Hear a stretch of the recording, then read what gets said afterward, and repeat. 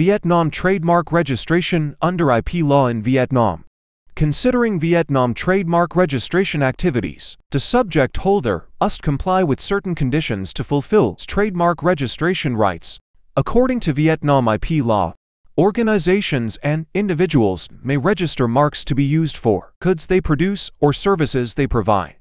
Organizations and individuals that conduct lawful commercial activities may register marks for products they are marketing but produced by others, provided that the producers neither use such marks for their products nor object to such registration. Lawfully established collective organizations may register collective marks to be used by their members under regulations on use of collective marks for signs indicating geographical origins of goods or services. Organizations that may register them are collective organizations of organizations or individuals engaged in production or trading in relevant localities for other geographical names or marks indicating geographical origins of local specialties of Vietnam. The Vietnam trademark registration must be permitted by competent state agencies. Organizations with the function of controlling and certifying the quality, properties, origin, or other relevant criteria of goods or services may register certification marks provided that they are not engaged in the production or trading of these goods or services. For other geographical names, or marks indicating geographical origins of local specialties of Vietnam, the Vietnam trademark registration thereof must be permitted by a competent state agency. Two or more organizations or individuals may jointly register a mark in order to become its co-owners on the following conditions. 1.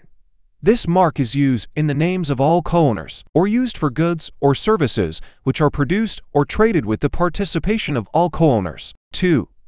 The use of this mark causes no confusion to consumers as to the origin of goods or services.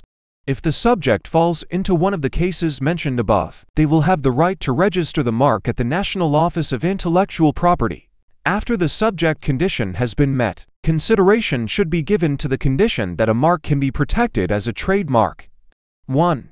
It is a visible mark in the form of letters, words, drawings or images including holograms or a combination thereof, represented in one or more colors. 2.